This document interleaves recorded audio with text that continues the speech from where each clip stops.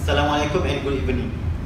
We all have people we admire for their talent, for their accomplishment, or for their personal qualities. Today, I would like to talk about a person I admire so much.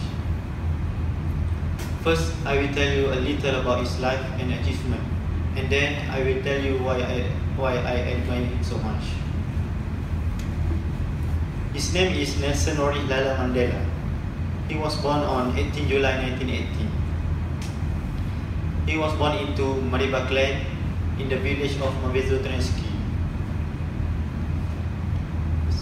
His mother was Nangkafi Nosukeni and his father was Nkosi Mapakani Swagadala Mandela, principal counselor for the ethnic king of the Tamil people, Jogintaba Dalin Diago. He was the first president. He was the first black president of South Africa. And he worked to achieve human rights and better future for everyone in South Africa. Uh, beside that, he spent 27 years in prison for trying to overthrow the pro-apartheid government.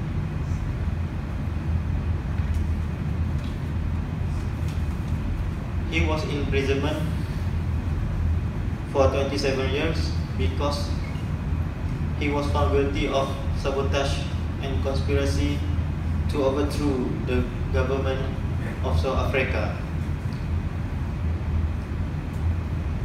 Together with other eight National African Congress leaders. He was sentenced to life imprisonment in 1964 and was, and was released in 1990.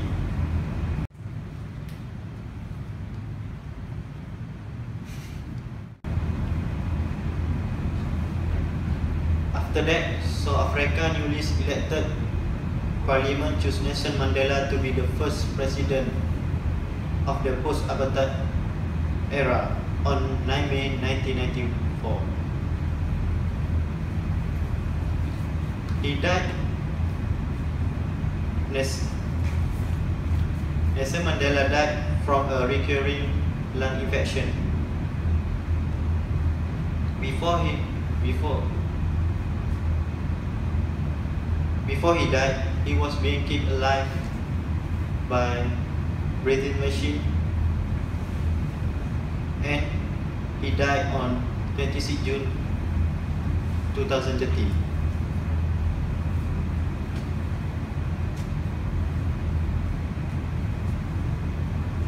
Then, for the achievements, apartheid was abolished in 1991 and South Africa had its first election in which black people as well as white were allowed to vote. He said, if you want to make a peace with your enemy, you must you you must work with your enemy. Then he become your partner. Other than that, he was given a Nobel Peace Prize. Lastly, I will tell you why I admire him.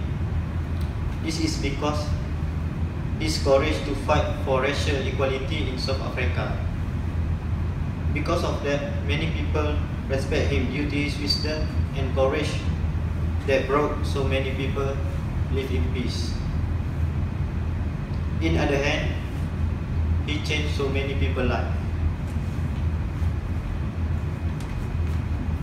In conclusion, I hope I have shown why I think Nelson Mandela life's accomplishment, personal qualities and value make him an inspiring role model. Thank you.